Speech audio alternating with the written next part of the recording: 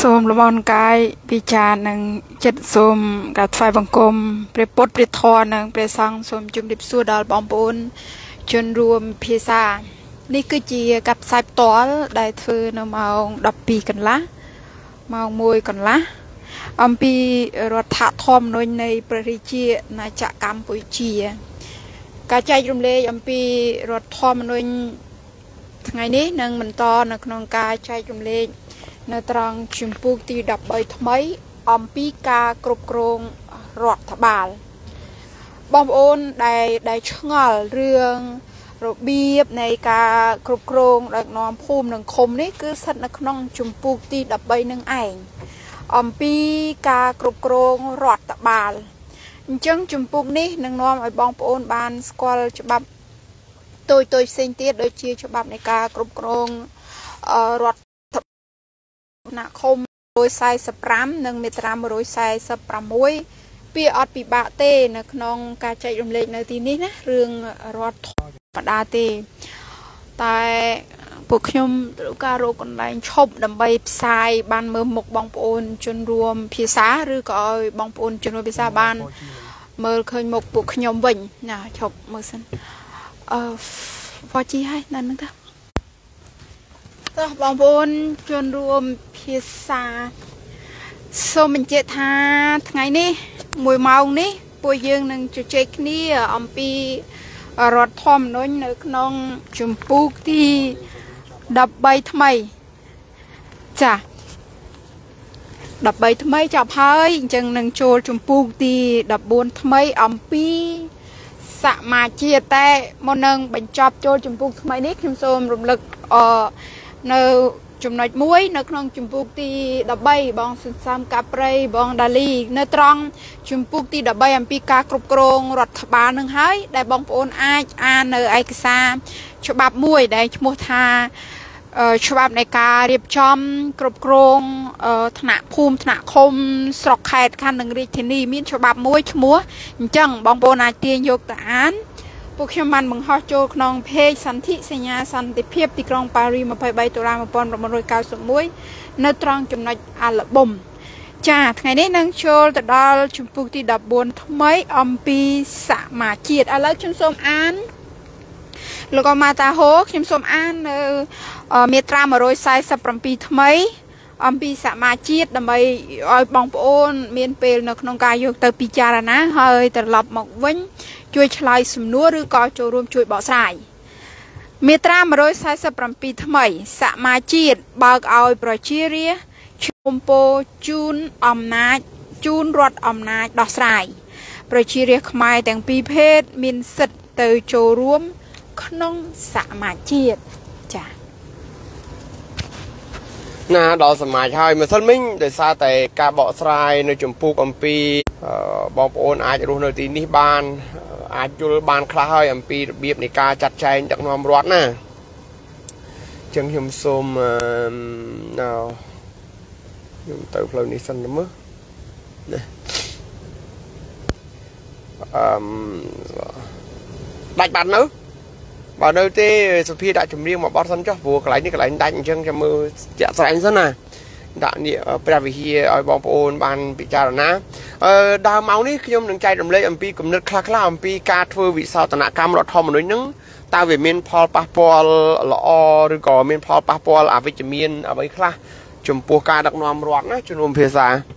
តើការកែរដ្ឋធម្មនុញ្ញហ្នឹងតើយើងជាពលរដ្ឋហ្នឹងត្រូវធ្វើអីណាឥឡូវស្ដាប់នាគព្រះវិហារមួយបទសិនជាងដោយអ្នកសៀមរាប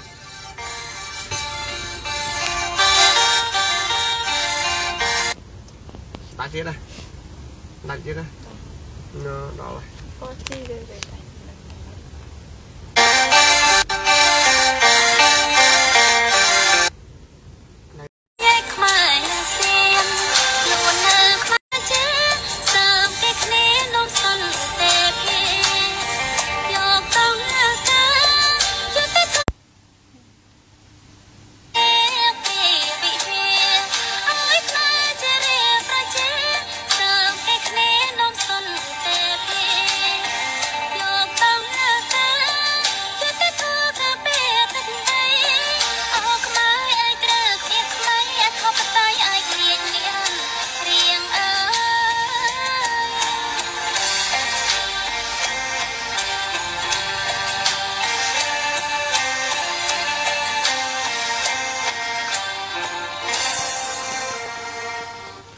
បងប្អូនជនរួមភាសាមិនដឹងថា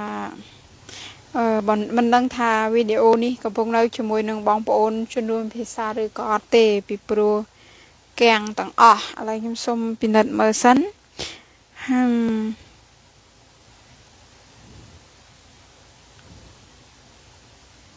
ចាំបន្តិចចាស់តោះយើងបន្តទៀតចាក់ចុះយើងនឹងឡើងចុះ បងកំពុងវិញខ្លាំងចាស់បងប្អូនជនរួមភាសា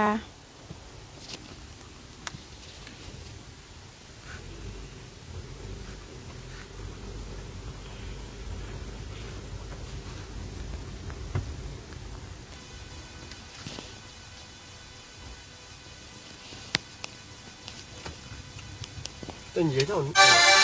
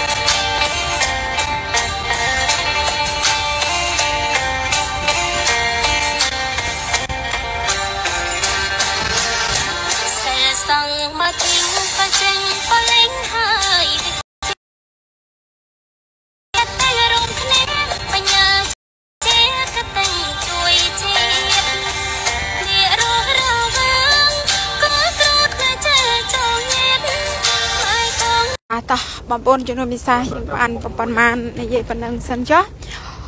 អស់ឥឡូវពួកយើងធ្វើការជជែកបន្តិចអំពីចំណុចវិជ្ជមាននិងចំណុចអវិជ្ជមាននៃការធ្វើវិសោធនកម្មទៅលើច្បាប់រដ្ឋធម្មនុញ្ញបើបងប្អូនជំនុំវិសាបានលើ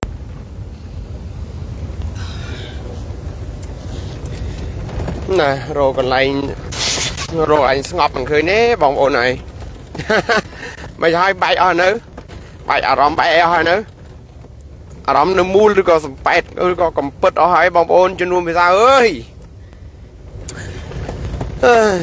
គេសំខាន់នេះខ្ញុំមករកកន្លែងចតឡានវាមិនឃើញកន្លែងចតវាអត់ឃើញទេខ្ញុំរកកន្លែងចតសិនណាកន្លែងនេះក៏ចតអត់កើតដែរ ណោះបងប្អូនជំនុំភាសាអ្វីដែលខ្ញុំចង់សួរនឹងថាតើការកែប្រែរដ្ឋធម្មនុញ្ញនឹងវាអាចធ្វើឲ្យប៉ះពាល់អ្វីខ្លះដល់ប្រយោជន៍ជាតិខ្មែរទាំងមូលណាហើយតើការកែប្រែរដ្ឋធម្មនុញ្ញបែបណាដែលมันធ្វើឲ្យខូចប្រយោជន៍ជាតិណាបងប្អូនជំនុំភាសាណាខ្ញុំធ្វើ left នៅផ្លូវជាតិ X3 ចេញខ្ញុំចេញមកបសែតបងប្អូននៅនៅបសែតអើយណាបសែត ខ្ញុំចេញមកបរសែតមកជួបបងអូនឆែលពេជ្របងអូនពេជ្រពេជ្រអត់ដឹងគាត់ឡើយ Continue for 800 meters. ឥឡូវខ្ញុំសូមបញ្ជាក់គោលខ្លះជំនុំភាសា ការកែរដ្ឋធម្មនុញ្ញគឺការកែរដ្ឋធម្មនុញ្ញវាជាច្បាប់មេគិតមើលទៅព្រាបើកែច្បាប់មេតើវាមាន ផលប៉ះពាល់អ្វីដល់ច្បាប់កូនកូនសូមអញ្ជើញបើកែល្អផលអ្វីបើកែទៅអាក្រក់វាមានផលអីបងរកកន្លែងចត បងប្អូនជនរួមភាសាខ្ញុំសូមធ្វើការបញ្ជាក់ចែករំលែកខ្លះខ្លះពាក្យពន់ជាមួយនឹងបើមានការវិសោធធនកម្មរដ្ឋធម្មនុញ្ញតើនឹងមានផលប៉ះពាល់អ្វីធម្មតាបើមានការកែប្រែនៅច្បាប់មេឬក៏ច្បាប់ដែលជារូបមន្តនៃការបង្កើតច្បាប់តូចតូចនានានោះអញ្ចឹងមានន័យថាពេលដែលកែប្រែរដ្ឋធម្មនុញ្ញ វាប្រកាសជាមានការកែប្រែទៅលើច្បាប់តូចតូចនោះដូចគ្នា ហើយបើរដ្ឋធម្មនុញ្ញនោះកែប្រែឲ្យអាក្រក់ឲ្យប្រះចាអំពីប្រយោជន៍ជាតិប្រកាសណាស់ថានឹងទាញច្បាប់តូចតូចឲ្យคล้ายទៅជាច្បាប់ដែលអាក្រក់ទាំងអស់បើទាញច្បាប់តូចតូចឲ្យទៅជាអាក្រក់ទាំងអស់គឺមន្ត្រីអនុវត្តច្បាប់ គឺជាមន្ត្រីដែលអាក្រក់ផលប្រយោជន៍របស់ប្រជាពលរដ្ឋ ក៏ត្រូវបានបាត់បង់ក៏ទៅជាអាក្រក់អាក្រក់នេះគឺអាក្រក់តគ្នា ប្រើភាសាដូចជាដូចជាការប្រៀបធៀបថាដូចជាថ្នាំពុលបើសិនបើបន្តក់ថ្នាំពុលចូលហើយឬក៏មេថ្នាំ ការកែប្រែវាទៅជាមេថ្នាំពុលហើយ បន្តក់ចូលនៅត្រង់កន្លែងណាក៏វាត្រូវតែពុលទាំងអស់អញ្ចឹងនេះគឺជា អញ្ចឹងនេះគឺជាហេតុផលដ៏អាក្រក់ទី1ឬក៏ផលប៉ះពាល់អវិជ្ជមានទី1ដែលមានការកែប្រែឬក៏មានការធ្វើវិសោធនកម្មអញ្ចឹងបើមានការកែប្រែរដ្ឋធម្មនុញ្ញហើយច្បាប់តូចតូចមន្ត្រីមេដឹកនាំនយោបាយប្រកាសជាខ្លាចទៅជាមន្ត្រីមេដឹកនាំនយោបាយអាក្រក់ពលរដ្ឋឯនេះគឺជាពលរដ្ឋដែលនឹងបាត់បង់ ផលប្រយោជន៍ហើយអ្នកដែលទទួលផលនឹងបាត់បង់ផលប្រយោជន៍ធ្ងន់ធ្ងរដែលប្រើភាសាប្រៀបធៀបថាដូចជាវាជាថ្នាំពុលអញ្ចឹងដាក់មួយបន្តក់វានឹងពុលគ្រប់ជ្រុងគ្រប់ផ្នែកគ្រប់ចំណែកនេះបើ ការធ្វើវិសោធនកម្មច្បាប់ ជាការធ្វើវិសោធនកម្មដែលប្រះចាអំពីរូបមន្តប៉ុន្តែបើវាជារឿងល្អវិញគឺ វាត្រូវតែល្អទាំងអស់ដូចគ្នា បើមានការធ្វើវិសោធនកម្មច្បាប់រដ្ឋធម្មនុញ្ញនោះទៅជាច្បាប់ល្អឬក៏ត្រូវតាមរូបមន្តមន្ត្រីក៏ល្អច្បាប់តូចតូចបើទោះបីជាមានការកែប្រែប៉ុន្តែកែប្រែឲ្យទៅជាល្អប្រយោជន៍ជាតិប្រយោជន៍របស់ប្រជាពលរដ្ឋក៏ត្រូវបានថែរក្សានឹងការពារដោយច្បាប់ចា៎ក៏ថ្វាយបង្គំព្រះពុទ្ធព្រះធម៌និងព្រះសង្ឃចឹងនេះចំណុចទី1 มันបានបញ្ជាក់ឲ្យល្អិតទេណាប្រហែលជាល្ងាចយើងនឹងយកប្រធានបទមួយចំនួនយកមកបន្ថែមនៅលើនេះ បងសន្សើមផ្កាព្រៃបងសន្ធិលោកពូសន្ធិសញ្ញាទីក្រុងប៉ារីចង់ចង់បញ្ជាក់ឡើងវិញ ការកែរដ្ឋធម្មនុញ្ញបើរដ្ឋធម្មនុញ្ញកែឲ្យទៅអាក្រក់គឺវានឹងធ្វើឲ្យច្បាប់ក្រមរដ្ឋប្រវេណីច្បាប់ភូមិបាលច្បាប់ការងារច្បាប់អាពាហ៍ពិពាហ៍ច្បាប់តូចតូចនានាទៅជាអាក្រក់ទាំងអស់ហើយមន្ត្រីអនុវត្តច្បាប់នឹង កែចរិតពីល្អពីមន្ត្រីប្រជាធិបតេយ្យពីមន្ត្រីស្នេហាជាតិពីមន្ត្រីដែលទុកជាតិជាធំទៅជាមន្ត្រីក្បត់ជាតិពុកអលួយលក់ជាតិបំផ្លាញជាតិតាមអំពើចិត្តបាននៅបងពូទីណាឯកា ហើយបើកាលណាមន្ត្រីទៅជាមន្ត្រីពុករលួយលក់ជាតិក្បត់ជាតិតាមអំពើចិត្តដោយសារតែច្បាប់អាក្រក់នឹងហើយនោះអ្នកទទួលផលគឺប្រជាពលរដ្ឋនឹងត្រូវស្លាប់បាត់បង់ជីវិតត្រូវរត់ចោលប្រទេសរត់ចោលទឹកដីហើយនឹងក្រីក្ររហេមរហាមអ្នកមានមានកាន់តែខ្លាំងអ្នកក្រក្រកាន់តែខ្លាំងគម្លាតអ្នកមានអ្នកក្រកាន់តែឆ្ងាយគម្លាតរវាងមន្ត្រីនិងពលរដ្ឋកាន់តែខ្លាំងនេះគឺជាអត្តពលដ៏អាក្រក់បើកែរដ្ឋធម្មនុញ្ញទៅរោភាពអាក្រក់វានឹងអាក្រក់អស់ចាក្រៃណាបងពូទីណា ឯកាគៀងអស់ហើយចាំបន្តិចណាវាគៀងនៅទីនេះសង្ឃឹមណាអូវាបានតែ 3G ណាបងកុំមែនអើយមិនដឹងយ៉ាងណាយ៉ាងនេះទេណាចាំមើលវាយ៉ាងណាយ៉ាងនេះខ្ញុំសុំដូរទីតាំងតិចទៀតណាកែលោកមានទីតាំងមួយទៀតនោះល្អជាងនឹងសុភាមកអឺ វាមិនមិនឆ្ងាយពីគ្នាទេព្រោះខ្ញុំនៅក្រោមដើមឈើតែមួយដើមវាអត់មានមធ្យោបាយណាបើមានមធ្យោបាយល្អជាងនឹងក៏ល្អដែរហើយបងខ្មែរការពីអង្គណាព្រោះកន្លែងដែលគិតថាអាចជួយពួកខ្ញុំបានប្រើល្បិចណាសាភាដល់ពតមកញ៉ាយដល់ពតក្រោយនេះ ណានេះកន្លែងនេះដូចជាគ្រាន់បើនេះឃើញលោតខមមិនមកខ្ជៀកខ្ជៀកខ្ជៀកខ្ជៀកនេះឃើញទេណាណាអត់អញ្ចឹងវាខ្លាចអ៊ីនធឺណិតខ្លាចតោះបន្តអមាញ់មិញកែរដ្ឋធម្មនុញ្ញអាក្រក់កែអាក្រក់គឺវាទាំងកែច្បាប់ឲ្យអាក្រក់ធ្វើឲ្យមន្ត្រីអាក្រក់ហើយធ្វើឲ្យពលរដ្ឋបាត់បង់ជាតិសាសន៍មាតុភូមិបាត់បង់ទឹកដីដោយស្វ័យប្រវត្តិណាបងអូនទៀងបងពូទីណាឯកាបងប៉ាអូនតៃកលឹះទី2 ការកែរដ្ឋធម្មនុញ្ញការកែរដ្ឋធម្មនុញ្ញពេលណាក៏ដោយនឹងមានវិបត្តិនៅក្នុងទំនាស់ផ្ទៃក្នុងរវាងមន្ត្រីនិងមន្ត្រីព្រោះការកែច្បាប់មួយប្រកាសជាមានមន្ត្រីខ្លះទទួលប្រយោជន៍មន្ត្រីខ្លះបាត់ប្រយោជន៍កែរដ្ឋធម្មនុញ្ញខ្វោកធ្វើឲ្យរដ្ឋសភាបាត់អំណាចអំណាចកើនមករនីតិប្រតិបត្តិមកកើនមករគណៈរដ្ឋមន្ត្រីមករនាយករដ្ឋមន្ត្រីបើកែច្បាប់ឲ្យបាត់បង់ អំណាចសភាជាតិនោះមន្ត្រីផ្ទៃក្នុងនេះនឹងឆ្លោះគ្នាកែអំកែច្បាប់រដ្ឋធម្មនុញ្ញធ្វើឲ្យតុលាការលែងឯករាជ្យធ្វើឲ្យតុលាការបាត់បង់អំណាចនោះនឹងមានទំនាស់ផ្ទៃក្នុងហើយទំនាស់ផ្ទៃក្នុងនេះចែកជាច្រើនដែលខ្ញុំសូមរំលេចពីរទំនាស់ផ្ទៃក្នុងទី1គឺទំនាស់ផ្ទៃក្នុងបើកាលណាមេដឹកនាំមានគំនិតផ្ដាច់ការគឺគាត់គៀបសង្កត់មន្ត្រីសភាជាតិនិងគៀបសង្កត់មន្ត្រីតុលាការយ៉ាងក៏ឃ្លឿនហើយមន្ត្រីសភាជាតិមន្ត្រីតុលាការអត់ហ៊ានកម្រើកទេ ហេតុអីព្រោះខ្លាចគេបាញ់ក្បាលចោលខ្លាចគេដកតំណែងខ្លាចគេគំរាមកំហែងក្រុមគ្រួសាររបស់គាត់ព្រោះមុនមេដឹកនាំ ជានាយករដ្ឋមន្ត្រីជាប្រធានាធិបតីជាព្រះមហាក្សត្រដែលមានអំណាចលើសលប់វាធ្វើឲ្យពួកគាត់អាចគំរាមកំហែងសភាជាតិបានអាចឲ្យពួកគាត់គំរាមកំហែងទៅដល់សន្តិសុខសន្តិភាពជាតិបានព្រោះគាត់កាន់អំណាចជាកងទ័ពទាំងស្រុងគាត់កាន់អំណាចជាប៉ូលីសទាំងស្រុងកាលណាកាលណាអ្នកកាន់អាវុធជាកងទ័ពជាប៉ូលីសអត់ឯករាជ្យទេនៅក្រោមកណ្ដាប់ដៃនាយករដ្ឋមន្ត្រីនៅក្រោមកណ្ដាប់ដៃប្រធានាធិបតីឬក៏ព្រះមហាក្សត្រគឺសភាជាតិត្រូវតែស្រែកមិនរួចតុលាការត្រូវតែស្រែកមិនរួចទោះបីជា សភាជាតិខំប្រឹងអះអាងថាខ្លួនគឺជាមន្ត្រីឯករាជ្យប៉ុណ្ណាក៏ដោយទោះបីជាតុលាការអះអាងថាខ្លួនគឺជាតុលាការឯករាជ្យប៉ុណ្ណាក៏ដោយនេះគឺជាកលឹះដ៏សំខាន់កលឹះទី2ការដែលធ្វើឲ្យមាន ការគៀបសង្កត់ទៅដល់បានការកែរដ្ឋធម្មនុញ្ញដែលធ្វើឲ្យបាត់បង់អំណាចសភាជាតិដែលធ្វើឲ្យបាត់បង់អំណាចតុលាការតុលាការនិងសភាជាតិមិនអាចឯករាជ្យបាន បែរទៅជាអំណាចប្រមូលទៅគណៈរដ្ឋមន្ត្រីនាយករដ្ឋមន្ត្រីរដ្ឋមន្ត្រីប្រធានាធិបតីនោះគឺការប្រឆាំងនៅខាងក្នុង គឺมันអាចលេចចេញទេប៉ុន្តែពួកគេចងគុំនុំថ្ងៃណាមួយខ្លួនបានឡើងកាន់កាប់អំណាចថ្ងៃណាមួយខ្លួនបានឡើងធ្វើធំទៅវិញខ្លួននឹងរំលាយមេដឹកនាំបច្ចុប្បន្ននេះចោលយ៉ាងសាហាវខូខើបំផុតឬក៏កើតទៅជារដ្ឋប្រហារព្រោះខ្លួនมันអាចប្រឆាំងបានប៉ុន្តែចងគំនុំ អញ្ចឹងចំនួននេះមានពីរណាបើកាលណាកែរដ្ឋធម្មនុញ្ញធ្វើឲ្យបាត់បង់នៅឯករាជ្យភាពនៃសភាជាតិធ្វើឲ្យបាត់បង់ឯករាជ្យភាពនៃតុលាការអំណាចបែរទៅជាប្រមូលទៅនីតិប្រតិបត្តិអំណាចបែរទៅជាប្រមូលទៅរកនីតិប្រតិបត្តិនោះគឺនឹងធ្វើឲ្យខាតប្រយោជន៍គឺទំនាស់ផ្ទៃក្នុងត្រូវបានបង្កើតឡើងពេលដែលទំនាស់ផ្ទៃក្នុងត្រូវបានបង្កើតឡើងនេះ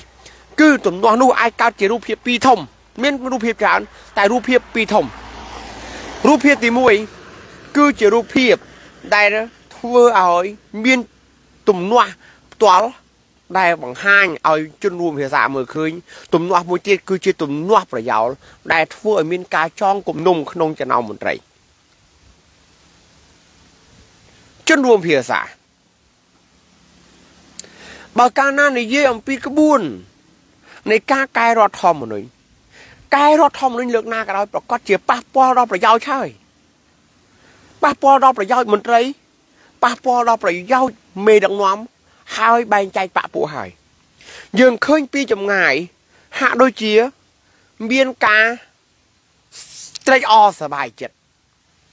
ប៉ុន្តែទំនាស់នេះគឺជាទំនាស់ដែលនឹងបណ្ដាលឲ្យពូជសាសន៍នេះរង្គោះរង្គើធ្ងន់ធ្ងរទី3ការកែរដ្ឋធម្មនុញ្ញ កែលើកណាក៏ដោយដោយសារតែខ្មែរមានកិច្ចព្រមព្រៀងសន្តិភាពទីក្រុងប៉ារី23ដុល្លារ91ការកែរដ្ឋធម្មនុញ្ញនោះកាន់តែកែកាន់តែប្រឆាចពីកិច្ចព្រមព្រៀងសន្តិភាពទីក្រុងប៉ារី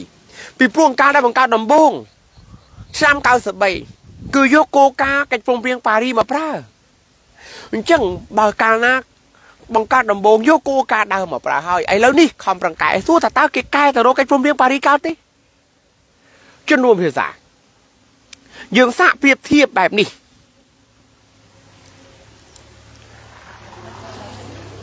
ឪពុកឪពុកសៀមម្ដាយខ្មែរកើតមកគឺ50ខ្មែរ50សៀមបន្ទាប់មកកូនហ្នឹងបាទឪពុកម្ដាយ គឺឪពុកឪពុកសៀមម្ដាយខ្មែរកើតកូនមកគឺឈាមកូនហ្នឹង50សៀម50ខ្មែរ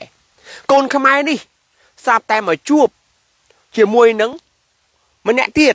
ដែលជាខ្មែរអញ្ចឹងកូនខ្មែរនេះដែលមានឈាម50ជាសៀម50ជាខ្មែរមកជួបជាមួយនឹងខ្មែរបានកូនមកគឺឈាមរបស់កូននោះ គឺប្រកាសជា75ឬក៏80ខ្មែរ 15%ឬក៏20%គឺជាសៀមអញ្ចឹងកាន់តែឆ្ងាយកាន់តែមករោខ្មែរ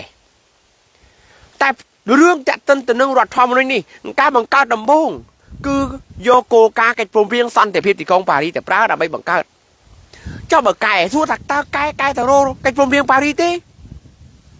ការធ្វើវិសោធនកម្មរដ្ឋធម្មនុញ្ញ គឺដាច់ខាតមិនកែទៅរកកិច្ចព្រមព្រៀងសន្តិភាពទីក្រុងប៉ារីឡើយចុះគេកែឲ្យខុសកិច្ចព្រមព្រៀងប៉ារីទេថាទោះបីជាគេកែឲ្យដូចកិច្ចព្រមព្រៀងប៉ារីក៏ដោយតើនរណាជាអ្នកត្រួតពិនិត្យថារដ្ឋធម្មនុញ្ញកែទៅរកកិច្ចព្រមព្រៀងប៉ារីនោះបងអូនសាក់ព្រៃកលាញ់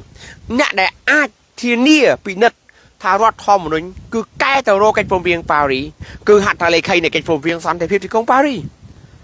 សំណួរសួរថាតើយួននឹងមកជួយអន្តរាគមទេបើឃើញរដ្ឋធម្មនុញ្ញខ្មែរកែទៅជាប្រជាការកុម្មុយនីអស់តើចិនយួននឹងមកចូលរួមអន្តរាគមកុំអោយរដ្ឋធម្មនុញ្ញខ្មែរទៅជារដ្ឋធម្មនុញ្ញប្រជាការដូចមុន91កើតទេ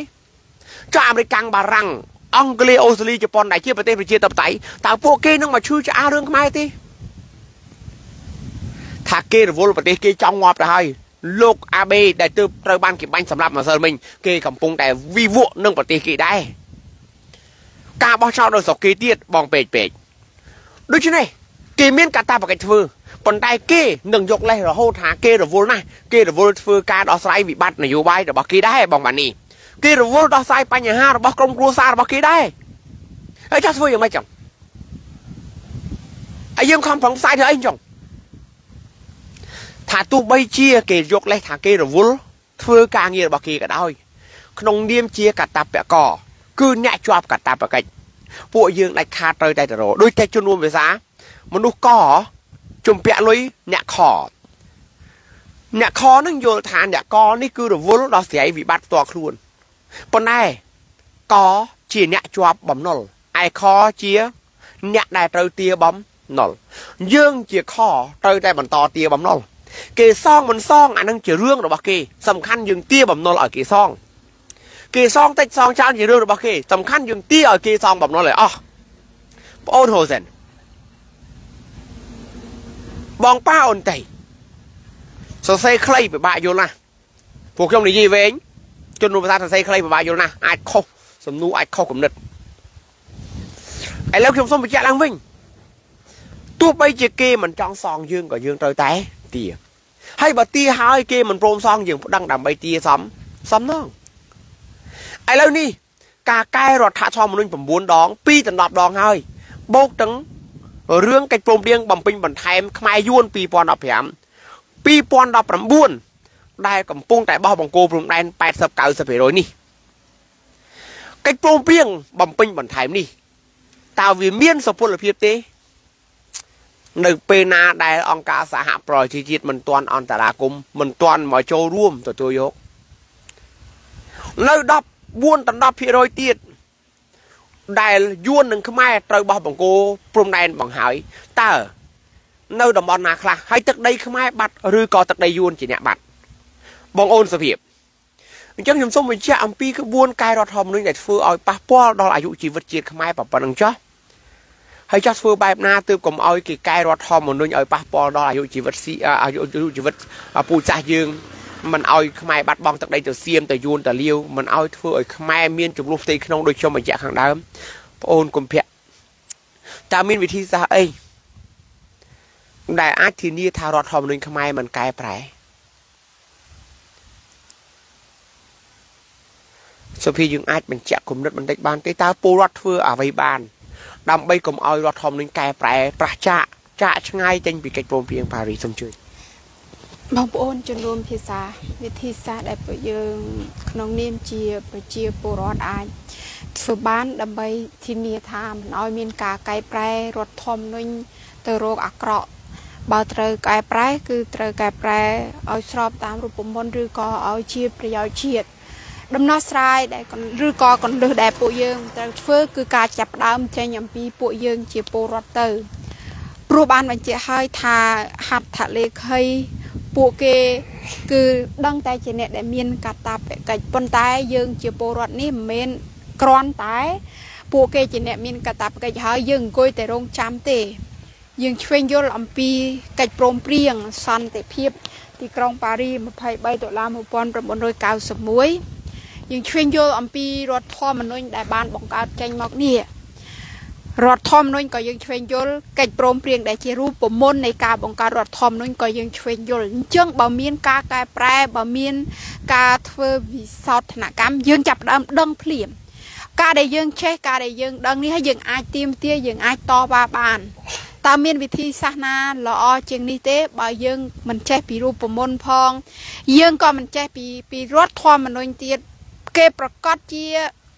ប្រើវិធីសាស្ត្រមួយដ៏ល្អបំផុត គេធ្វើអ្វីក៏ស្របតាមច្បាប់ដែរមានតែយើងទេតើដែលអត់ចេះច្បាប់នឹងអត់ចេះអំពីរូបមន្តនឹងអញ្ចឹងនេះគឺជាដំណោះស្រាយទី1ដំណោះស្រាយទី2គឺក្នុងដំណោះស្រាយទី1នៅក្នុងនោះវាមានការរៀនអំពីច្បាប់ការចែករំលែកអំពីច្បាប់ការខំចងក្រងជាឯកសារជាផុសតាងនានានិងការរៀនអំពីករណីនានាដើម្បី ដំណើរការនីតិវិធីដើម្បីយើងប្តឹងផ្ដាល់ទៀមទានិងតវ៉ាអញ្ចឹងនេះគឺមកចង្កោមចំណុចទី1ចំណុចទី2គឺយើងធ្វើជាពលរដ្ឋឯកតនាមពលរដ្ឋឯកតនាមគឺវាជាឫសគល់នៃការដែលយើងអាចរើសមេដឹកនាំនយោបាយបើយើងចេះរើសមេដឹកនាំនយោបាយតាមរយៈធ្វើជាពលរដ្ឋឯកតនាមយើងនឹងរើសមេដឹកនាំនយោបាយស្នេហាជាតិយើងនឹងរើសមេដឹកនាំនយោបាយដែលដែលឈរជាមួយនឹងច្បាប់ ការពារប្រយោជន៍ជាតិការពារច្បាប់មិនអោយវិសោធនកម្មឲ្យទៅជាថ្នាំពុលឲ្យទៅជាប្រះចាកឬក៏កែមន្ត្រីល្អឲ្យទៅជាមន្ត្រីប្រៃផ្សាយមន្ត្រីអាក្រក់ឬក៏តាំងពីមានផលប្រយោជន៍ពលរដ្ឋធ្វើឲ្យបាត់បង់ប្រយោជន៍របស់ប្រជាពលរដ្ឋបែកបាក់សាមគ្គីភាពគ្នាឯកភាពជាតិគ្នាទេ អញ្ចឹងការរើសការការធ្វើជាពលរដ្ឋឯកតនាមនេះហើយយើងនឹងរើសបានមេដឹកនាំនយោបាយល្អយើងនឹងស្គាល់អំពីចរិតលក្ខណៈរបៀបនៃការបង្កើតមេដឹកនាំនយោបាយទី3គឺពលរដ្ឋសកម្មការដែលយើងត្រូវបន្តសកម្មគុំគុំស្រឡាញ់ជាតិយកម្នាក់ឯងធ្វើអីជួយគ្នាសកម្មតាមចំណែកផ្សេងផ្សេងដែលពួកយើងអាចធ្វើបានបងប្អូនខ្លះ ស្រឡាញ់ជាតិប៉ុន្តែសកម្មជួយផ្នែកសេដ្ឋកិច្ចបងប្អូនខ្លះស្រឡាញ់ជាតិសកម្មផ្នែកនយោបាយបងប្អូនអាចធ្វើបានសកម្មផ្នែកវប្បធម៌សង្គមធម៌សកម្មនៅក្នុងការចូលរួមនិយាយចែករំលែកអំពីច្បាប់សកម្មនៅក្នុងការឲ្យគេចេះប្តឹងផ្ដាល់ទៀមទាតវ៉ាតាមដំណើរការនីតិវិធីសកម្មនៅក្នុងការជួយជ្រោមជ្រែងឲ្យតែមានបងប្អូន ទាំងឡាយណាដែលស្រឡាញ់ជាតិគឺចេះជួយជ្រោមជ្រែងចេះបង្កើតចំណងមិត្តភាពយើងសកម្មដោយសិលសមាធិបញ្ញានិងការមិនវិនិច្ឆ័យយើងសកម្មដោយការខំចែករំលែកអំពីច្បាប់ សួរថាបើយើងសកម្មបែបនេះតើមន្ត្រីឯណាហ៊ានដេកបើពួកគេហ៊ានដេកពួកគេក្លាហានណាប៉ុន្តែប្រកាសជាជួបសំណួររបស់ យើងជាពលរដ្ឋធ្វើឲ្យពួកគេត្រូវតែភ្ញាក់ពីដេកនោះឡើងវិញ អញ្ចឹងបីកន្លឹះនេះចោះពាក់ព័ន្ធនឹងយើងអាចធ្វើបានក្នុងការចូលរួមជាចំណែកដើម្បីរុញឲ្យមានការកែប្រែច្បាប់ទោះបីជានឹងនឹងកែប្រែក៏កែប្រែត្រឹមត្រូវតាមរូបមន្តដើម្បីជាប្រយោជន៍ជាតិមិនមែនកែពីល្អហើយឲ្យទៅជាអាក្រក់មានសំណួរ3ហើយมันឆ្លើយជូនឲ្យបងប្អូនពិចារណា សំណួរទី1បើជនរួមភាសាធ្វើជាម្ចាស់ប្រទេស ធ្វើជាពលរដ្ឋសកម្មពលរដ្ឋឯកតនាមពលរដ្ឋនីតិរដ្ឋ តើមន្ត្រីអាក្រក់ឬក៏មន្ត្រីល្អសบายចិត្តមន្ត្រីក្បត់ជាតិឬក៏មន្ត្រីស្នេហាជាតិសบายចិត្តមន្ត្រីពុករលួយលក់ជាតិក្បត់មអ្នកសកាឧត្តមគតិឬក៏មន្ត្រីស្នេហាជាតិរក្សាការពារភូកទ្របសេដ្ឋកិច្ចនយោបាយជាតិខ្មែរសบายចិត្តជួនភាសាម្ដងទៀត បើកាលណាជួនភាសាខំប្រឹងធ្វើជាពលរដ្ឋសកម្មពលរដ្ឋនីតិរដ្ឋពលរដ្ឋឯកតនិយមដោយសុភាបញ្ញុលតើមន្ត្រីល្អសบายចិត្តឬក៏មន្ត្រីអាក្រក់សบายចិត្តសบายសบายចិត្តសบายចិត្តតើមន្ត្រីអាក្រក់ឬក៏មន្ត្រីល្អសบายចិត្តដែលមានពលរដ្ឋសកម្មពលរដ្ឋឯកតនិយមពលរដ្ឋនីតិរដ្ឋសំណួរទី2បើកាលណាពលរដ្ឋធ្វើជាពលរដ្ឋឯកតនិយមពលរដ្ឋសកម្មពលរដ្ឋនីតិរដ្ឋហើយតើនរណាគេជាអ្នក កំណត់ជួបអវាសនានៃការកែប្រែរដ្ឋធម្មនុញ្ញខ្មែរតើនរណាគេតើលោកមេបកជាអ្នកកែរដ្ឋធម្មនុញ្ញតើលោកនាយករដ្ឋមន្ត្រីជាអ្នកកំណត់ការកែប្រែរដ្ឋធម្មនុញ្ញតើមន្ត្រីណាជាអ្នកកំណត់ការកែប្រែរដ្ឋធម្មនុញ្ញបើកាលណាពលរដ្ឋធ្វើជាម្ចាស់នៃមន្ត្រីទាំងអស់នោះពេលដែលពលរដ្ឋធ្វើជាពលរដ្ឋឯកតានាមពលរដ្ឋនីតិរដ្ឋពលរដ្ឋសកម្មតើនរណាគេជាអ្នកកំណត់ ជួបឲ្យវាសនានៃការកែប្រែច្បាប់ជាតិខ្មែរទាំងច្បាប់កម្ពុជារដ្ឋធម្មនុញ្ញទាំងវិសោធនកម្មច្បាប់តូចតូចនេះនេះនរណាគេជំនុំថាបើកាលណាយើងបបួលគ្នាខិតខំប្រឹងប្រែងធ្វើជាពលរដ្ឋឯកតនិយមធ្វើជាពលរដ្ឋនីតិរដ្ឋធ្វើជាពលរដ្ឋសកម្មសភាបញ្យលហើយបើកាលណាយើងបបួលគ្នាធ្វើជាម្ចាស់នៃជោគវាសនានយោបាយជាតិបានតើនរណាគេជាអ្នកកំណត់នៃការកែប្រែ ការធ្វើវិសោធនកម្មភាសាបច្ចេកទេសណា បងពូទីណាឯកាបងអូនសភាពវោស៊ីសសអោធូណូវិសោធនៈកមកជាងមកកម្មគឺពលរដ្ឋជាអ្នកកំណត់ជោគវាសនានៃការកែប្រែច្បាប់នោះអរគុណណាស់បងខំបូមែនបងអូនសាក់ព្រៃក្លាញ់សំណួរទី3បើកាលណាពលរដ្ឋធ្វើជាពលរដ្ឋឯកតនាមពលរដ្ឋនីតិរដ្ឋពលរដ្ឋសកម្មដើម្បីទៅគូសទ្វារហត្ថលេខីទាំងអស់ ដែលបានចុះហត្ថលេខាក្នុងកិច្ចព្រមព្រៀងសន្តិភាពទីកុងប៉ារីដើម្បីអន្តរាគមន៍ដល់រដ្ឋាភិបាលខ្មែរកុំឲ្យកែរដ្ឋធម្មនុញ្ញដែលប្រឆាចកិច្ចព្រមព្រៀងប៉ារីតើការដែលយើងជាពលរដ្ឋខិតខំប្រឹងប្រែងសិក្សាឆ្វេងយល់អំពីច្បាប់កិច្ចព្រមព្រៀងសន្តិភាពទីក្រុងប៉ារីនិងរដ្ឋធម្មនុញ្ញហើយធ្វើជាពលរដ្ឋសកម្មធ្វើជាពលរដ្ឋឯកតនិយមធ្វើជាពលរដ្ឋនីតិរដ្ឋដើម្បីយក Gas signal lost. ដើម្បីយកស៊ីនីរអីខ្ញុំអត់ដើរផង នេះទូរស័ព្ទនេះក៏អញ្ចឹងក៏មើលធ្វើបាបស្រួលដែរខ្ញុំមិនបានខ្ញុំមិនបានដើរផងក៏ដាក់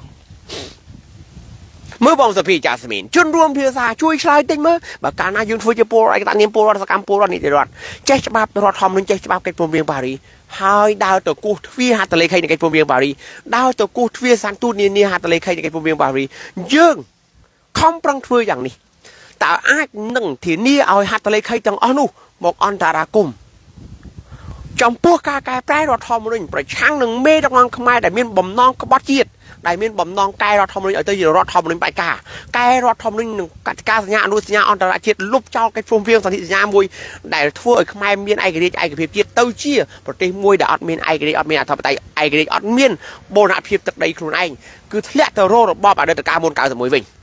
តើមួយណាបងសិតាហេនបើពលរដ្ឋចេះដឹងយល់ ច្បាប់រដ្ឋធម្មនុញ្ញកិច្ចព្រមព្រៀងប៉ារីហើយធ្វើជាពលរដ្ឋសកម្មពលរដ្ឋនីតិរដ្ឋពលរដ្ឋឯកតនិយមក្នុងការទៅទៅទៀមទាឲ្យហត្ថលេខីជួយអន្តរាគមន៍ជំនួយភាសាសង្ឃឹមដល់ជំនួយភាសាចាប់កន្លឹះសំណួរទី3ប៉ុណ្្នឹងចុះសុភីឥឡូវយើងចូលដល់នៅក្នុងការចែករំលែកជូនជំនួយភាសាយើងមានពេលប្រហែលជា20នាទីនៅក្នុងការចែករំលែកអំពីជំពូកទី13 ណាជំពូកទី13និយាយអំពីសមាជាតិជំនួយភាសាអូជំពូកទី13គឺនិយាយអំពីការគ្រប់គ្រងរដ្ឋបាលពន្យល់ម្សិលមិញហើយមិនពិបាកយល់ទេគេគ្រាន់តែបែងចែករដ្ឋបាលដឹកនាំហ្នឹងគឺមានរដ្ឋបាលខេត្តរដ្ឋបាលស្រុករដ្ឋបាលឃុំឬប៉ុណ្្នឹងនេះណាជំនុំភាសានោះឥឡូវសូមបន្តចូលដល់ជំពូកទី14អំពីសមាជាតិសមាជាតិសអានថាសមោសាជោអានថាម៉ាជោស៊ីអ៊ីតស្រេអានថាសមាជាតិសមាជាតិ បើកឲ្យប្រជារាស្ត្រចាំជួយរកពាក្យសមាជាតិផងសមាជាតិបើកឲ្យប្រជារាស្ត្រជ្រាបដោយផ្ទាល់អំពីកិច្ចការផ្សេងផ្សេងដែលជាប្រយោជន៍ជាតិនិងនឹងលើកបញ្ហានិងសំណុំពរជូនរដ្ឋអំណាចដោះស្រាយប្រជារាស្ត្រខ្មែរទាំងពីរភេទមានសិទ្ធិទៅចូលរួមក្នុងសមាជជាតិនោះណា តើអ្វីទៅហៅថាសមាជាតិនិយាយនិយមន័យទូទៅបច្ចនានុក្រមសម្ដេចសង្ឃជួនណាត់សិនក៏បានសុភាមិនបាច់ទៅបច្ចនានុក្រម10បច្ចនានុក្រម10គឺបញ្យលតាមនេះដដែលទេបញ្យលតាមមាត្រា147ដដែលទេសូមបងប្អូនទៅមើលពាក្យថាសមាជបូកនឹងជាតិជាតិមានន័យដូចម្ដេចសមាជមានន័យដូចម្ដេចសូមជួយសុភាបញ្យលពាក្យជាតិសិនមកបងប្អូនជនរួមភាសាជាតិបងខៀងហងចូលស្រៈអ៊ីតស្រៈអេអានថាជាតិ ជាតិនេះគឺមានរបស់3សំខាន់សំខាន់ដែលมันអាចខ្វះបានมันអាចមានតែ2มันអាចមានតែ1ត្រូវតែមានទាំង3មានរបស់3ដែលมันអាចខ្វះបាននេះហើយ ដែលយើងហៅថាជាតិទី1គឺអធិបតេយ្យភាពអធោស្រៈអេបតជើងយោផោស្រៈអៀនិងពោអធិបតេយ្យភាព អធិបតេយ្យភាពនេះមានន័យថានយោបាយក្នុងប្រទេស និងនយោបាយក្រៅប្រទេស ពេលដែលនិយាយអំពីនយោបាយក្នុងប្រទេស គឺជារបៀបជាក្បួននៃការដឹកនាំអាស្រ័យទៅតាមច្បាប់កម្ពុជារបស់ប្រទេសហ្នឹងដោយខ្មែរអញ្ចឹងមានអំណាចនីតិបញ្ញត្តិនីតិប្រតិបត្តិអំណាចតឡាការមានពលរដ្ឋអាចចូលរួមធ្វើនយោបាយលក្ខនឹងលក្ខនឹងហៅថាការដឹកនាំនយោបាយក្នុងប្រទេសអធិបតេយ្យភាពនេះគឺសំដៅដល់ការដឹកនាំនយោបាយក្រៅប្រទេស ការដឹកនាំនយោបាយក្រៅប្រទេស គឺនិយាយអំពីទំនាក់ទំនងការទូតទំនាក់ទំនងកិច្ចសហប្រតិបត្តិការគឺហៅថាកិច្ចការងារនយោបាយក្រៅប្រទេស គឺរវាងខ្មែរជាមួយនឹងបរទេសទីតីជាលក្ខណៈអន្តរជាតិជាលក្ខណៈតំបន់ឬក៏ជាលក្ខណៈទ្វេភាគី ទី2យើងហៅថាជាតិដែលត្រូវតែមានធាតុផ្សំដែលมันអាចខ្វះបាននោះគឺបូរណភាពបស្រៈអូរ៉ូណផូស្រៈអៀពោបូរណភាពគឺមានន័យថាព្រំដែនទឹកព្រំដែនគោកព្រំដែនអាកាសពេលនិយាយអំពីបូរណភាពហៅថាព្រំដែនទឹកព្រំដែនគោកអាកាសមិនមែននិយាយតែព្រំដែនហើយកណ្ដាលប្រទេសក៏ត្រូវបរទេសគ្រប់គ្រងទេមិនមែនទេគឺយើងហៅថា ជានយោបាយជាជាដែនទឹក ជាដែនគោកនិងដែនអាកាសព្រោះប្រទេសមួយមិនអាចខ្វះរបស់ទាំង3នេះបានទេអញ្ចឹងហៅថាជាតិហៅថាប្រទេស របស់ទី3ដែលមិនអាចខ្វះបាន គឺប្រជាពលរដ្ឋធម្មតាបើហៅថាជាតិបានបើមានតែសัตว์មានតែរុក្ខជាតិមិនអាចហៅថាជាតិទេ គឺលុះត្រាតែមានពលរដ្ឋរបស់ប្រទេសនោះរស់នៅ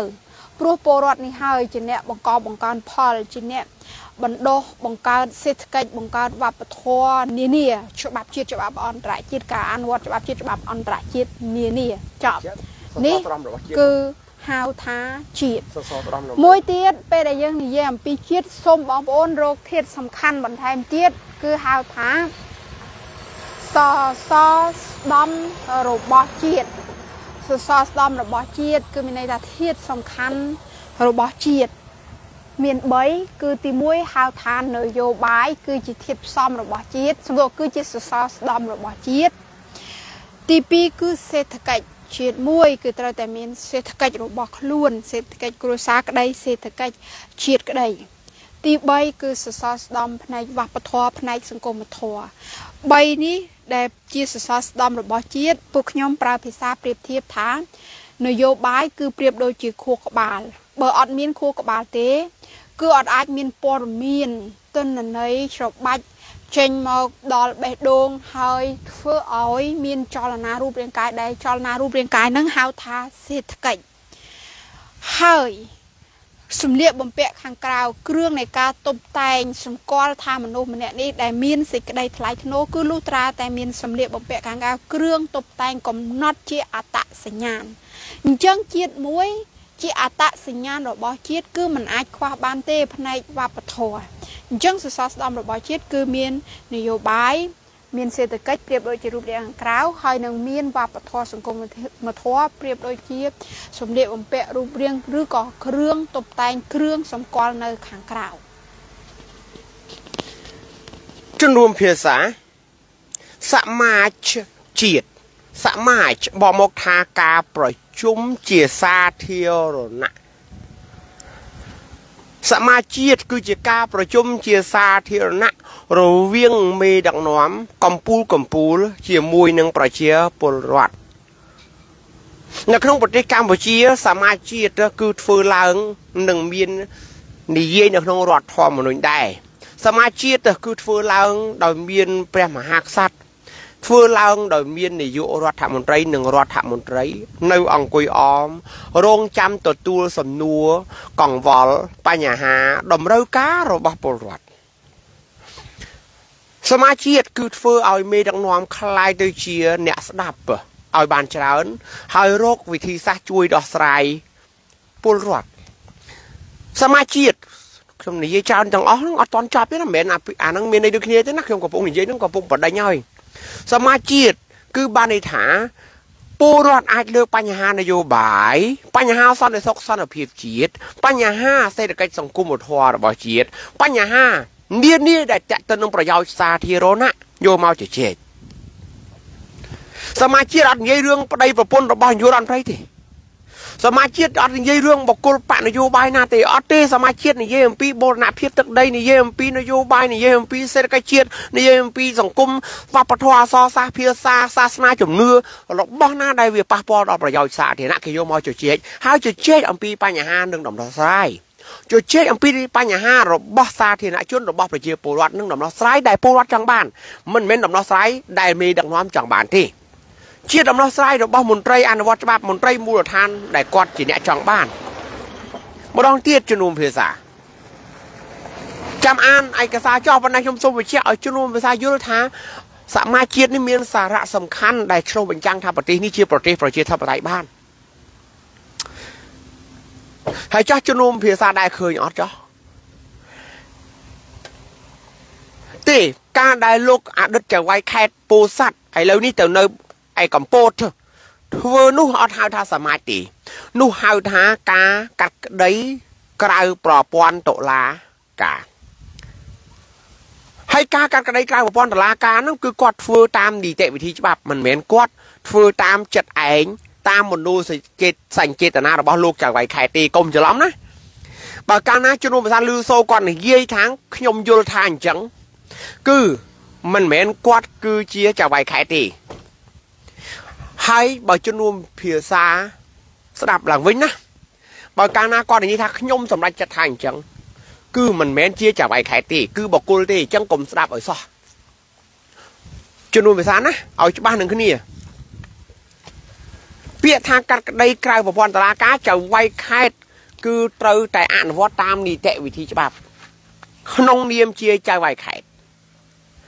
តែប្រយ័ត្នណាឧទាហរណ៍ថារឿងហ្នឹងគឺអីគេកូនកាប់ម្ដាយ ហើយគាត់ត្រូវសម្របសម្រួលឲ្យកូននិងម្ដាយត្រូវគ្នាលោកចៅវាយខេតកំពុងតែក្បត់នៅវិជាជីវៈហើយគាត់ជាចៅវាយខេតគាត់មិនមែនជាតឡាការទេក្បត់វិជាជីវៈហើយក្រមព្រំប្រទានมันអាចអនុញ្ញាតឲ្យដោះស្រាយក្រៅប្រព័ន្ធតឡាការឡើយទោះបីជាមានការសម្របសម្រួលក្រៅប្រព័ន្ធតឡាការឲ្យអស់ប៉ុន្តែក៏ត្រូវធ្វើតាមច្បាប់ដែរ ហើយការសម្របសម្រួលក្រៅប្រព័ន្ធតុលាការនេះគេឲ្យសម្របសម្រួលតែរឿងណាដែលជារឿងរដ្ឋប្រវេណីស្រាលมันអាចធ្វើរដ្ឋប្រវេណីធ្ងន់ធ្ងរការរដ្ឋវេណីធ្ងន់ធ្ងរឧទាហរណ៍ថាការជាប្រមាថរហូតដល់ប៉ះពាល់ដល់សិទ្ធិបុគ្គលធ្វើមនុស្សនឹងអាចទៅសម្រាប់ខ្លួនបានឧទាហរណ៍អញ្ចឹងនឹងហៅថារដ្ឋវេណីធ្ងន់ធ្ងរដែលធ្វើឲ្យប៉ះពាល់ដល់ជីវិតគេដល់កិត្តិយសក្រុមគ្រួសាររបស់គេដូចជាកូនគេថាជាអាកូនយួនហើយហើយប្រមាថម៉ែឪគេធ្វើឲ្យគេបាត់បង់កិត្តិយសក្នុងនាមជាមនុស្សមនុស្សជាតិណា នឹងហើយហៅថារត់វេនីធ្ងន់ធ្ងរតែបើដល់ព្រំមិនទាន់ទៅហើយដល់កាប់គ្នាទៅហើយដល់ដាល់គ្នាទៅហើយដល់ដុតផ្ទះគ្នាទៅហើយដល់ដណ្ដើមដីគេទៅហើយដល់កាំងយកឡានយកអីទៅទៅកាំងយកដីគេទៅហើយអាហ្នឹងគឺព្រំមិនទាន់តើចៅចវាយខេតអត់មានសិទ្ធហ្នឹងទេអត់មានសិទ្ធទេ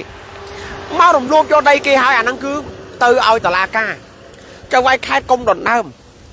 ធ្វើខុសវិជាជីវៈហើយ អញ្ចឹងពាក្យថាសមាជជាតិខុសអំពីការកាត់ក្តីក្រៅប្រព័ន្ធតុលាការសមាជជាតិនេះគឺជាការប្រជុំធំ ដែលធ្វើឡើងរវាងប្រជាពលរដ្ឋជាមួយនឹងមន្ត្រីដែលបានចែងនៅក្នុងច្បាប់ច្បាប់ចែងថាមានមានព្រះមហាក្សត្រមាននាយករដ្ឋមន្ត្រីមានរដ្ឋមន្ត្រីគឺច្បាប់ចែងអញ្ចឹងជនភាសាទៅមើលក្នុងរដ្ឋធម្មនុញ្ញសរសេរណាសុភ័យរដ្ឋធម្មនុញ្ញវិញតើណា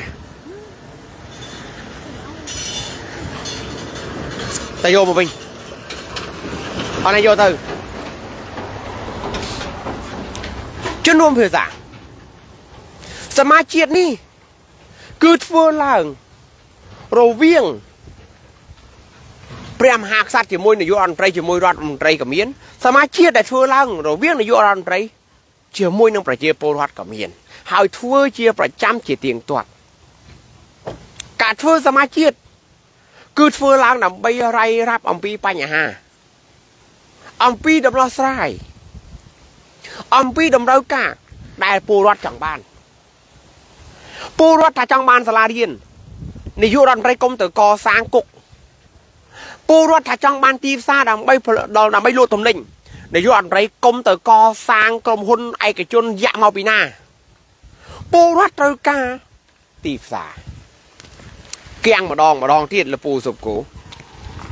ណាឥឡូវក្មួយចិត្តចាប់ហើយណាក្មួយក្មួយសុំចាប់ឆាប់ឆាប់នេះហ่ะអស់ម៉ោងទៅហើយនៅក្នុងមាត្រា148 149ក៏សរសេរអំពីសមាជជាតិប៉ុន្តែខ្ញុំសូមទៅមើលកន្លែងព្រះមហាក្សត្របន្តិចណាមិញនឹងខ្ញុំបានរំលេចរឿងព្រះមហាក្សត្រដែរណាសភាឈប់បងមើលកុំទាញឆក់ធ្វើយ៉ាងធ្វើបាបស្រូណា ចង់ចង់បានអត់មានសុំលេងឆក់យកទៅភៅទៅឯងទាញចង់បោះងាធ្វើធ្វើធ្វើអញ្ចឹងតើបាច់បាច់ឆ្កុយមកណាឈប់បងរោពាកសម័យ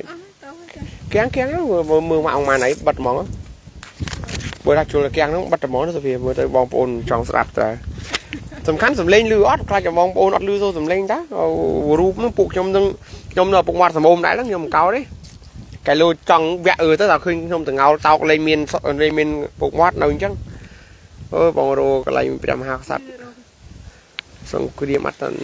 ឈប់បងរោភ្នែកបងលឿនតើគាត់ថាបើកសាវនាការនេះព្រះមហាក្សត្រធ្វើបើកសាវនាការទៅមេតាទី1មេតា20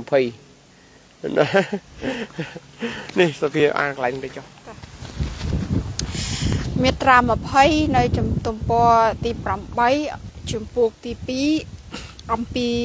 ព្រះមហាក្សត្រមេត្រា20ព្រះមហាក្សត្រទ្រង់ទទួល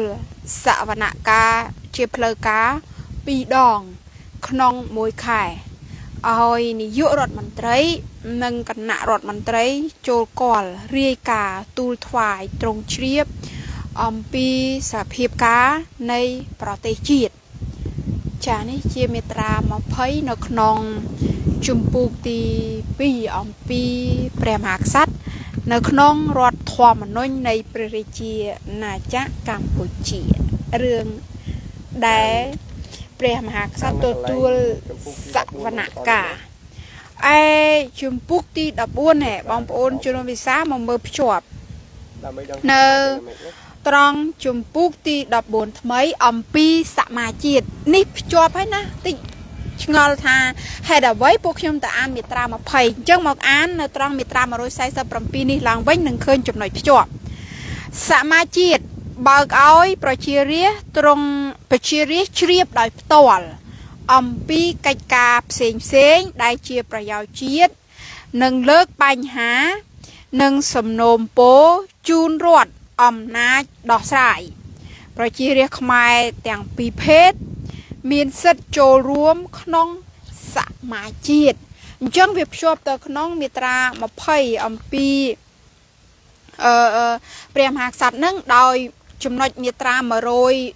148មួយទៀតនឹងឃើញដល់ហើយនេះសមាជាតិប្រជុំមួយដងក្នុងមួយឆ្នាំ នៅដើមខែធ្នូ តាមការកោះអញ្ជើញរបស់នាយករដ្ឋមន្ត្រី សមាជាតិប្រព្រឹត្តនៅក្រោមព្រះរាជ